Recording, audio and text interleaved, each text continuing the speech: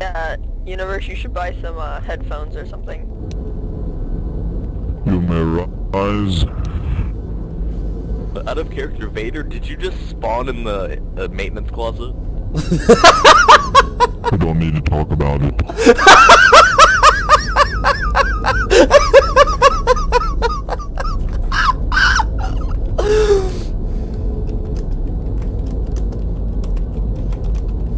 You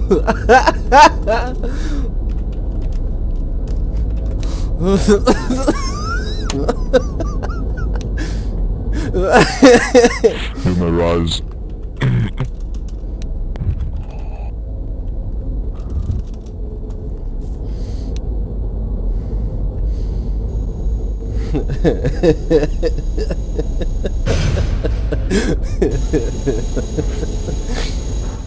That was great.